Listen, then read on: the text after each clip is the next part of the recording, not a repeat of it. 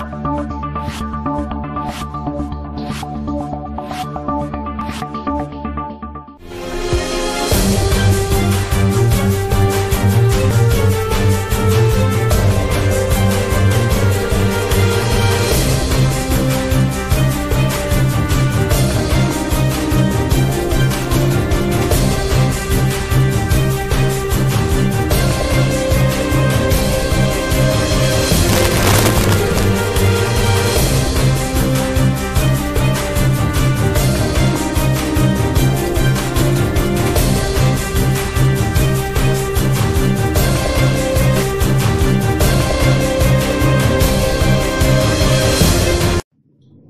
আজকে ক্লাস নাইনের পরিমিতির বৃত্ত সম্পর্কিত কিছু অঙ্ক দেখাবো। বৃত্তের দুটো চ্যাপ্টার আছে, একটা বৃত্তের পরিধি, একটা বৃত্তের ক্ষেত্রফল। তা বৃত্তের পরিধি দিয়ে যে চ্যাপ্টারটি আছে, কোষে দেখো ষোলো, সেটি ইজিয়েস্ট চ্যাপ্টার। যত পরিমিতি আছে, তার মধ্যে সহজতম পরিমিতি হচ্ছে বৃত্তের পরিধি। এবার বৃত্তের পরিধি কীভাবে আমরা নির্ণয় করব, সেটা একটু ভালো করে তাকিয়ে দেখো। এখানে আমি দুটো বৃত্ত এঁকেছি। এই দুটো বৃত্তের এটাকে বলা হয় পরিধি, এটাকে বলা হয় ব্যাস। তাহলে এর ক্ষেত্রেও এটা পরিধি, এটা ব্যাস। এই পরিধি আর ব্যাসের যে অনুপাত, পরিধি এবং ব্যাসের যে অনুপাত, সেটা ফিক্সড, সেটা হচ্ছে বাইশ ইস্টু সাত। বাইশ ইস্টু সাত, এর মানে হচ্ছে পরিধিটা যদি বাইশ সেন্টিমিটার হয়, তাহলে ব্যাসটা হবে সাত সেন্টিমিটার। তাহলে ঠিক আছে? তাহলে পরিধি যাই হোক না কেন, এটা যদি চুয়াল্লিশ সেন্টিমিটার হয়, তাহলে ব্যাসটা হবে চোদ্দ সেন্টিমিটার। যাতে করে অনুপাতটা বাইশ ইস্টু সাত হয়। এখন কথা হচ্ছে সবসময় যে বাইশ সেন্টিমিটার এবং সাত সেন্টিমিটার হবে, তা তো নাও হতে পারে। সেই জন্য আমাদেরকে যেটা জানতে হবে সেটা হচ্ছে বাইশ ইস্টু সাত, এটার মানে হচ্ছে বাইশ বাই সাত। বাইশ বাই সাত মানে তিন পূর্ণ একের সাত। অর্থাৎ ব্যাস আর পরিধিটা মেপে আমরা যদি দেখি যে পরিধিকে ব্যাস দিয়ে ভাগ করলে তিন দশমিক সামথিং আসছে, তাহলে ধরে নিতে হবে সেটা বাইশ ইস্টু সাত। মানটা নিশ্চয়ই বুঝতে পেরেছ? তাহলে এই বাইশ ইস্টু সাত, এটা যেহেতু ফিক্সড সেই জন্য এটাকে বলা হয় পাই। তাহলে বাইশ ইস্টু সাতকে পাই, এই একটা চিহ্ন দিয়ে লেখা হয়। অর্থাৎ পাই ইকুয়াল টু বাইশ বাই সাত। তাহলে আমরা এখানে পেলাম পরিধি ও ব্যাসের অনুপাত। তার মানে পরিধি, বৃত্তের পরিধি বাই বৃত্তের ব্যাস সমান পাই। এবার এটাকে বজ্র গুণন করলে পাবো আমরা বৃত্তের পরিধি সমান পাই ইন্টু বৃত্তের ব্যাস। এই বৃত্তের ব্যাস ব্যাসটা যেটা ব্যাসার্ধটাকে আর ধরি, ব্যাসার্ধটা আর ধরি, তাহলে ব্যাসটা হবে তার দ্বিগুণ অর্থাৎ টুয়ার। তাহলে পাই ইন্টু টুয়ার বা টুয়েলভ একটাই ফর্মুলা বৃত্তের পরিধির সেটা হচ্ছে টু পাই আর। এই টু পাই আর ফর্মুলা দিয়েই এই প্রশ্নমালার যাবতীয় অঙ্ক সেগুলো হবে। এবার আমি দু একটা অঙ্ক দেখাচ্ছি। দেখো ভালো করে। তারপরে আবার কতগুলো অঙ্ক দেখাবো।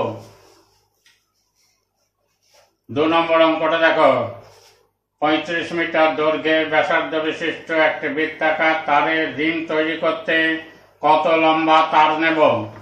পঁয়ত্রিশ মিটার দৈর্ঘ্যের ব্যাসার্ধ। ভালো করে দেখো। পঁয়ত্রিশ মিটার দৈর্ঘ্যের ব্যাসার্ধের একটা রিং আছে। সেই রিংটা তৈরি করতে কতটা তার লাগবে? ধরো এই যে রিংটা আছে, এই রিংটা তৈরি করতে কতটা তার লাগবে? মানে পরিধিটা যদি বার করতে পারি তাহলে কতটা তার লাগবে, সেটা পেয়ে যাব। তার মানে আমাদেরকে পরিধিটা বার করতে হবে। তাহলে দেখো এখানে বৃত্তাকার তারে রিংয়ের ব্যাসার্ধ পঁয়ত্রিশ মিটার বয়ে দেওয়া আছে। তাহলে রিংটা তৈরি করতে তার লাগবে। ফর্মুলা এখনই পেয়েছি আমরা। টু পাই আর, তাহলে টু ইন্টু পায়ের মান বাইশের সাত, ইন্টু আর এর মান পঁয়ত্রিশ। কাটাকাটি করে হলো দুশো কুড়ি মিটার। তার মানে রিংটা তৈরি করতে দুশো কুড়ি মিটার তার লাগবে এবার আমি চার নম্বরটা দেখাচ্ছি।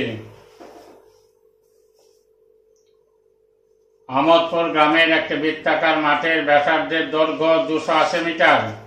চৈতালি প্রতি ঘন্টায় পাঁচ দশমিক পাঁচ কিমি বেগে হেঁটে মাঠটি পরিক্রমা করতে চাই। হিসাব করে দেখি মাঠটি একবার চৈতালির কত সময় লাগবে। আবার এখানেও বলি, একবার মাঠ প্রদক্ষিণ করা মানেই হচ্ছে পরিধি। এই যে মাঠটা আছে, বৃত্তাকার মাঠ যদি হয়, এটাকে একবার প্রদক্ষিণ করা মানে পরিধির সমান আমাদেরকে মাঠটার পরিধি বার করতে হবে। তাহলে এখানে করেছি বৃত্তাকার মাঠের ব্যাসার্ধ বয়ে দেওয়া আছে দুশো আশি মিটার, আর বৃত্তাকার মাঠের পরিধি হচ্ছে সতেরোশো ষাট মিটার। এই সতেরোশো ষাট মিটার পথ পরিভ্রমণ করতে এই যে পাঁচ পাঁচ দশমিক পাঁচ কিমি লেগে যাবে, ঘন্টায় পাঁচ দশমিক পাঁচ কিমি।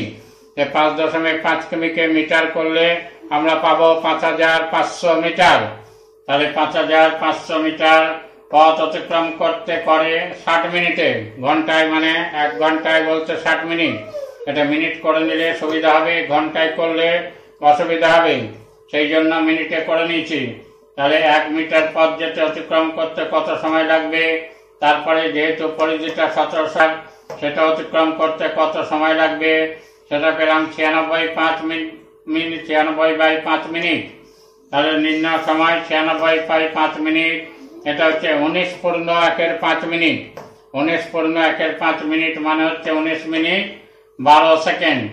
ঠিক আছে? এবার আমি ওই আর একটা অঙ্ক, তিন নম্বর অঙ্কটা তোমাদেরকে বলে দিচ্ছি। নিজেরাই করতে পারবে, দেখে নাও। একটি ট্রেনের চাকার ব্যাসার্ধের দৈর্ঘ্য শূন্য দশমিক তিন পাঁচ মিটার। এক মিনিটে চাকাটি চারশো পঞ্চাশ বার ঘুরলে ট্রেনটির গতিবেগ ঘন্টায় কত কিমি? তাহলে চাকার ব্যাসার্ধ দিয়ে দিয়েছে, তাহলে এক পাক ঘোড়া মানে হচ্ছে পরিধির সমান পথ অতিক্রম করা। তাহলে চাকাটার পরিধি বার করব, এক মিনিটে চাকাটা চারশো পঞ্চাশ বার ঘুরেছে, তার মানে এক মিনিটে ট্রেনটা যাবে চারশো পঞ্চাশ ইন্টু পরিধি যেটা বেরোবে, এইবার এটা এক মিনিটে যাচ্ছে, তাহলে ষাট মিনিটে কতটা যাবে সেটা বার করব। যেটা বেরোবে সেটা মিটারে বেরোবে, তাকে কিলোমিটারে নিয়ে যাবে, তাহলে ঘন্টায় গতিবেগ কত সেটা জানতে পারবে? নিশ্চয়ই অঙ্ক যে তিনটে বললাম, সে তিনটে বুঝতে পেরেছ?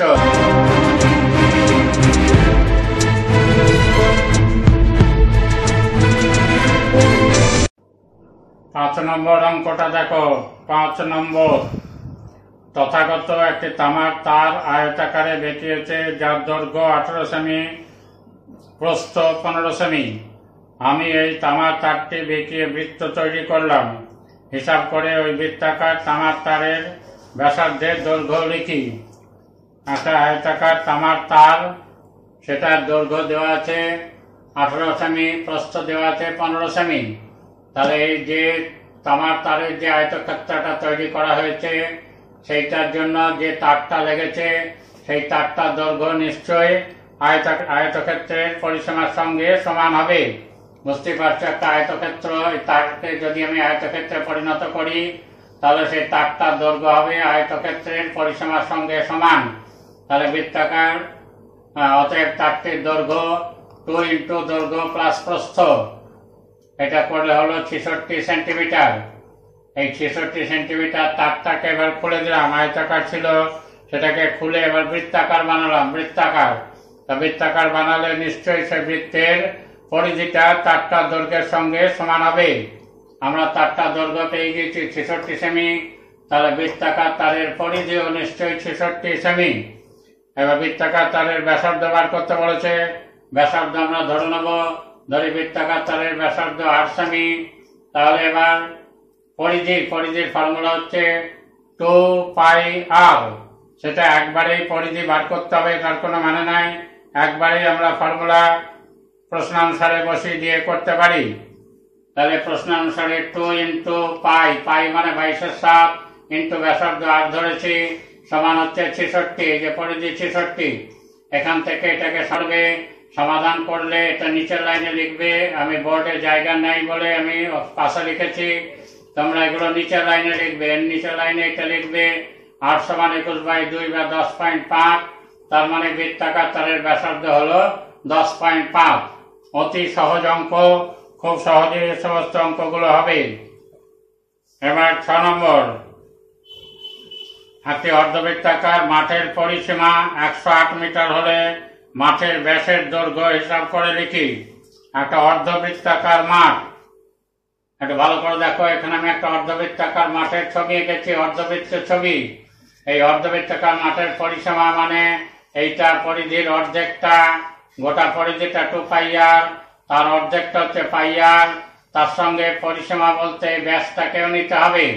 এই ব্যাসটা হচ্ছে টু আর ব্যাসার্ধ যদি আর হয় তাহলে ধরি অর্ধবৃত্তাকার মাঠের ব্যাসার্ধ আর মিটার, তাহলে মাঠটার পরিসীমা হবে পাই আর, টু পাই আর এর অর্ধেক, টু পাই আর এর অর্ধেক, তাহলে পাই আর সেটা হলো বাইশের সাত ইন্টু আর প্লাস এই ব্যাস, অর্থাৎ টু আর। এই মিলে হলো ছত্রিশ আর বাই সেভেন মিটার, সেইটা বইয়ে দেওয়া আছে একশো আট মিটার। তাহলে নিশ্চয়ই ছত্রিশ আর বাই সেভেন সমান একশো আট লিখতে পারি। এটাকে সমাধান করে দেখানো আছে। আর ইকুয়াল টু হয়েছে একুশ। তার মানে ব্যাসার্ধ হচ্ছে একুশ। বার করতে বলেছে মাঠের ব্যাসের দৈর্ঘ্য। তার ব্যাসের দৈর্ঘ্য ব্যাসার্ধকে দুই দিয়ে গুণ করলে ব্যাস হয়। তাহলে ব্যাসের দৈর্ঘ্য নিশ্চয়ই একুশকে দুই দিয়ে গুণ করলে পাবো। দ্যাট ইজ বিয়াল্লিশ মিটার। নিশ্চয়ই অঙ্কটা বুঝতে পেরেছ। খুবই সহজ অঙ্ক এগুলো।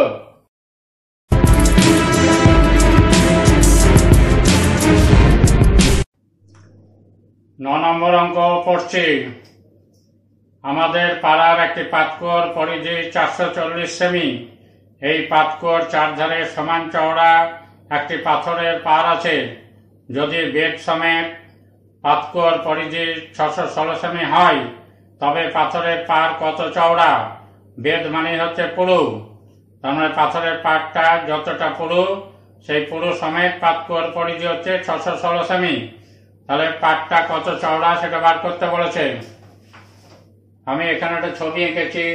এটা পাতকুয়োর এটা বাইরের, অর্থাৎ পার সহ বাইরের পরিধি, আর এটা পার বাদে ভেতরের পরিধি। এবার আমাদেরকে বার করতে বলেছে, পাটটা কত চওড়া? তার মানে আমরা এই বাইরের ব্যাসার্ধটা ভালো করে লক্ষ্য করো। বাইরের ব্যাসার্ধটা থেকে যদি ভেতরের ব্যাসার্ধটা বাদ দিই, তাহলে নিশ্চয়ই পাটটা কতটা চওড়া সেটা পেয়ে যাব। সেই জন্য আমরা ধরেছি, ধরি পাথরের পার সহ কুয়োর ব্যাসার্ধ আর বড় হাতের আট সেমি এবং পার বাদে কুয়োর ব্যাসার্ধ ছোট হাতের আট সেমি। তাহলে নিশ্চয়ই পাটটা আর মাইনাস আর এত সেমি চওড়া। এই আর মাইনাস আর এর মানটা একবারে বেরিয়ে যাবে। দুটো আলাদা করে বড় হাতের আর ছোট হাতের আর এর মান বার করার ব্যাপার নাই। এবার দেখো পার সহ যে পরিধিটা সেটা নিশ্চয়ই টু ইন্টু বাইশের সাত ইন্টু বড় হাতের আর আর পার বাদে যে পরিধিটা সেটা হচ্ছে টু ইন্টু বাইশের সাত ইন্টু ছোট হাতের আর। তাহলে এটা মাইনাস এটা যদি করি, তাহলে নিশ্চয়ই বইয়ে দেওয়া আছে পার সহ পরিধি ছশো ষোলো, পার বাদে পরিধি চারশো চল্লিশ। তা ছশো ষোলো মাইনাস চারশো চল্লিশ। এখান থেকে আমরা চুয়াল্লিশ বাই সেভেন কমন নিতে পারি। এটাতেও চুয়াল্লিশ বাই সেভেন আছে, এটাতেও চুয়াল্লিশ বাই সেভেন আছে। কমন গেল আর মাইনাস আর সমান এটা বিয়োগ করলে একশো ছিয়াত্তর, একবারে ডাইরেক্ট আর মাইনাস আর সমান একশো ছিয়াত্তর, কিন্তু এটা উল্টে যাবে সাত বাই চুয়াল্লিশ সমান আঠাশ। এগুলো তোমরা সব নিচে নিচে করবে। এবারে পাটটা কত চওড়া বেরিয়ে গেল। আলাদা করে তোমাকে বড় হাতের আরের মান, ছোট হাতের আরের মান বার করার দরকার হলো না। বুঝতে পারছ কত সহজে অঙ্কটা হয়ে গেল? তাহলে পাটটা আঠাশ সেমি চওড়া। এবার চোদ্দ নম্বর।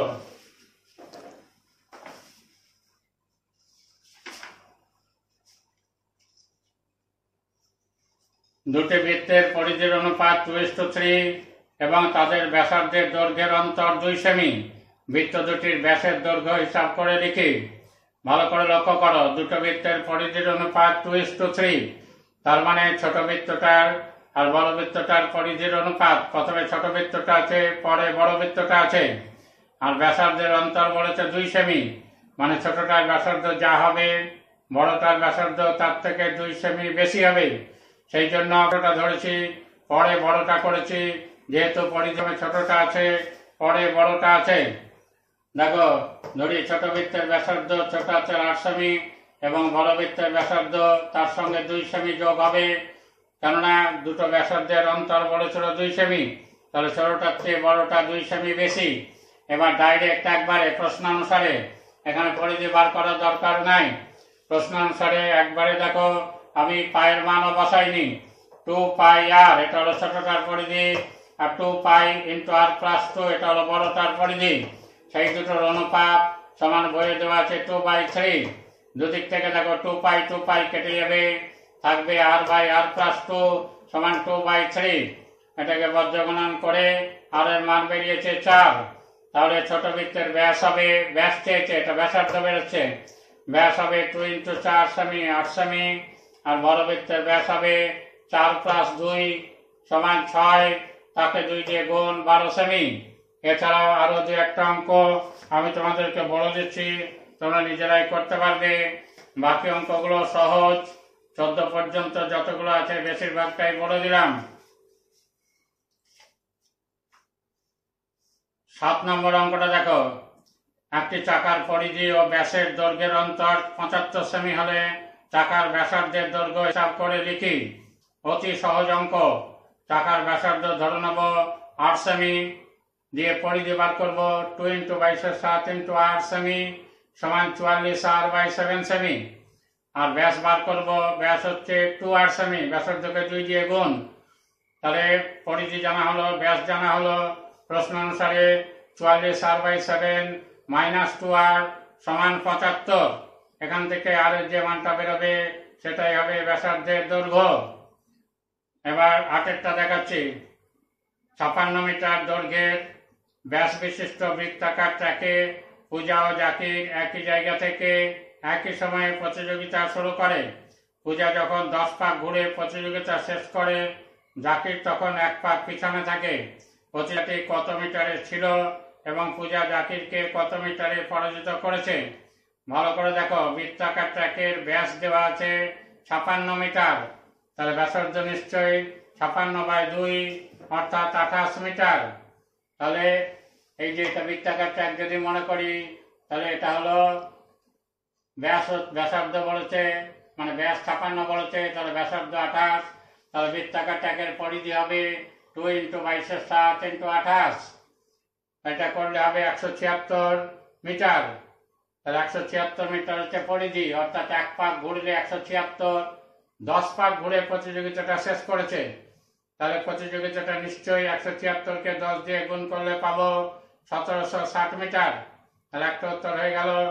এইবার পূজা দশ পাক ঘুরে প্রতিযোগিতাটা যখন শেষ করেছে, তখন জাকির এক পাক পেছনে আছে। এক পাক মানেই হচ্ছে একশো ছিয়াত্তর মিটার।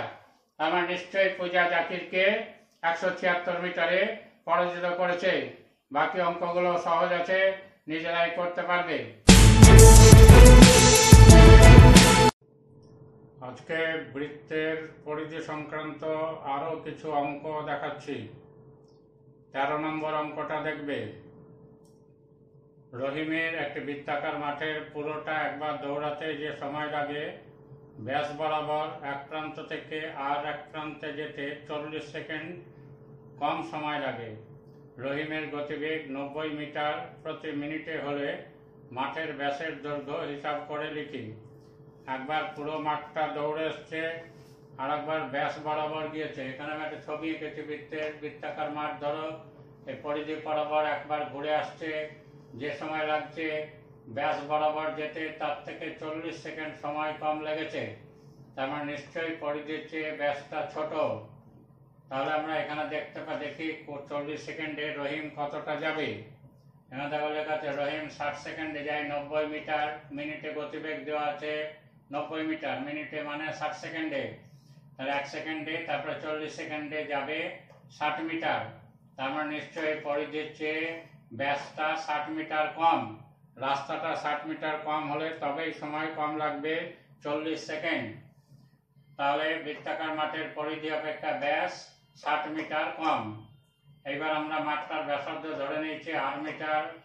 তার থেকে আমরা পরিধি বার করেছি টু ইন্টু বাইশের সাত ইন্টু আর আর ব্যাস হচ্ছে টু আর এই দুটোর বিয়োগফল হচ্ছে ষাট। তার থেকে আমরা এখান থেকে সমাধান করে আর এর মান বার করেছি চোদ্দ। তাহলে আটটা হচ্ছে ব্যাসার্ধ চেয়েছে বৃত্তাকার মাঠের ব্যাসের দৈর্ঘ্য। ব্যাসের দৈর্ঘ্য, ব্যাসার্ধকে দুই দিয়ে গুণ করলে ব্যাস হয়, তাহলে আঠাশ মিটার। তাহলে নিশ্চয়ই বুঝতে পেরেছ অঙ্কটা। একবারে সেম অঙ্ক আছে, ষোলো নম্বর অঙ্ক। এটা আমি একবার পড়ে বলে দিচ্ছি, দেখে নাও। এক জায়গাতে একটু চেঞ্জ আছে, বাকি সব একই আছে। একটি বৃত্তাকার মাঠে, একটি বৃত্তাকার মাঠের বৃত্ত বরাবর এক প্রান্ত থেকে অপর প্রান্তে যেতে, এবার বৃত্তাকার মাঠের এক প্রান্ত থেকে অপর প্রান্তে যেতে, পরিধি বরাবর। ঠিক আছে? মানে এখান থেকে এখানে গেল। এই যেতে যে সময় লাগে, মাঠের ব্যাস বরাবর অতিক্রম করতে তার থেকে পঁয়তাল্লিশ সেকেন্ড সময় কম লাগে। তার মানে এবার এইটা, এই বরাবর যেতে পঁয়তাল্লিশ সেকেন্ড সময় কম লেগেছে। নাসিফার গতিবেগ মিনিটে আশি মিটার হলে মাঠটির ব্যাসের দৈর্ঘ্য হিসাব করে লিখি। এখানে যেমন পুরো পরিধি মাইনাস ব্যাস সমান হয়েছিল ষাট মিটার, ষোলো নম্বর অঙ্কের ক্ষেত্রে হবে অর্ধ পরিধি অর্ধ পরিধি, pi R minus two R pi R minus two R সমান হবে যতটা যাবে পঁয়তাল্লিশ সেকেন্ডে, সেটা বেরোবে সেটাও বেরোবে ষাট মিটার। তাহলে সেক্ষেত্রেও আমরা এটা পাই আর মাইনাস টু আর করব। টুটা হবে না, পাই আর মাইনাস টু আর সমান ষাট আর এর মান যেটা বেরোবে, তাকে দুই দিয়ে গুণ করলে মাঠের ব্যাসের দৈর্ঘ্য পেয়ে যাব। এবার দু একটা ছোট প্রশ্ন দেখাচ্ছি। যেমন উনিশের এক নম্বর, একটি ঘড়ির ঘণ্টার কাঁটা ও মিনিটের কাঁটার গতিবেগের অনুপাত। একটি ঘড়ির ঘণ্টার কাঁটা ও মিনিটের কাঁটার গতিবেগের অনুপাত কত সেটা বার করতে বলেছে? একটু ভালো করে দেখো। একটি ঘড়ির ঘণ্টার কাঁটা এক ঘন্টায় যায় পাঁচ মিনিট ঘর। এইটা যদি আমরা একটা ঘড়ি মনে করি, ঘড়ির ঘণ্টার কাঁটাটা যদি বারোটার ঘরে থাকে সেখান থেকে এক ঘণ্টা মানে একটার সময় পাঁচ মিনিট ঘর যাবে। আর মিনিটের কাঁটা এক ঘন্টাতে পুরো এক পা ঘুরে চলে আসবে। তার মানে ষাট মিনিট ঘর। তাহলে ঘড়ির ঘণ্টার কাঁটা এক ঘন্টায় যায় পাঁচ মিনিট ঘর। তাহলে ঘড়ির মিনিটের কাঁটা এক ঘন্টায় যায় ষাট মিনিট ঘর। তাহলে ঘড়ির ঘণ্টার কাঁটা ও মিনিটের কাঁটার গতিবেগের অনুপাত পাঁচ ইস টু ষাট equal to one is to twelve. নিশ্চয়ই বুঝতে পেরেছ। এবার কুড়ির চার নম্বর চার নম্বর অঙ্কটা দেখাচ্ছি। একটি ঘড়ির মিনিটের কাঁটার দৈর্ঘ্য সাত সেমি, পনেরো মিনিটে কাঁটাটি কত দৈর্ঘ্য ঘুরবে? একটা ঘড়ির মিনিটে কাঁটা, এটাকে যদি আমরা একটা ঘড়ি মনে করি এইটাকে এখান থেকে এই পর্যন্ত যদি মিনিটে কাঁটা মনে করি, তাহলে এক ঘন্টায় যতটা ঘুরবে, সেটা নিশ্চয়ই পরিধির সমান পথ হবে। তাহলে একটি ঘড়ির মিনিটের কাঁটা, ষাট মিনিটে ঘোরে পরিধি। ব্যাসার্ধ যেহেতু সাত সেমি দেওয়া আছে, তাহলে পরিধিটা হবে টু ইন্টু বাইশের সাত ইন্টু সাত সেমি সমান চুয়াল্লিশ সেমি। এটা হচ্ছে ষাট মিনিটে ঘুরছে। তাহলে পনেরো মিনিটে কতটা ঘুরবে? পনেরো মিনিট মানে হচ্ছে ষাট ভাগ, ষাটের চার ভাগের এক ভাগ। যদি মনে করো ঐকিক নামে করব, সেটাও করতে পারো। ষাট মিনিটে ঘোরে চুয়াল্লিশ সেমি, এক মিনিটে ঘোরে পনেরো মিনিটে ঘোরে। তাহলে এগারো সেমি। একবারে সেম অঙ্ক আছে কুড়ির দু নম্বর। ওখানে ওই একই জিনিস, একটি ঘড়ির মিনিটের কাঁটার দৈর্ঘ্য সাত সেমি, এখান থেকেও তোমাকে পরিধি বার করতে হবে। পরিধি বেরিয়েছে যেমন এখানে চুয়াল্লিশ সেমি, ওখানেও চুয়াল্লিশ সেমি বেরোবে। নব্বই ডিগ্রি কোন ঘুরতে মিনিটের কাঁটা কত ঘোর দৈর্ঘ্য ঘুরবে? একটু ভালো করে লক্ষ্য করো, এখান থেকে এই পর্যন্ত যদি আমি একটা দাগ টানি আর এখানে টানি, তাহলে এটুকু হবে নব্বই ডিগ্রি। এই নব্বই ডিগ্রি মানেই হচ্ছে পনেরো মিনিট। ভালো করে দেখো, নব্বই ডিগ্রি মানেই পনেরো মিনিট। এবার দেখো ভালো করে, এখানে বলেছে, নব্বই ডিগ্রি কোণ ঘুরতে মিনিটে কাঁটা কত ঘুরবে? এমনিতে পুরোটা যদি ঘোরে, তাহলে এখানে তিনশো ষাট ডিগ্রি কোণ উৎপন্ন হয়। তা তিনশো ষাট ডিগ্রি কোণ উৎপন্ন করতে ঘুরবে চুয়াল্লিশ সেমি, তাহলে এক ডিগ্রি ঘুরতে, তারপরে নব্বই ডিগ্রি ঘুরতে কত সেমি ঘুরবে? সেটাও একই ব্যাপার, সেই বেরোবে, একই জিনিসই বেরোবে। এগারো সেমি বেরোবে। এটাও যেমন এগারো সেমি বেরোলো, ওটাও এগারো সেমি বেরোবে। আশা করি সবগুলো প্রশ্নের উত্তর নিশ্চয়ই ঠিক মতো বুঝতে পেরেছ।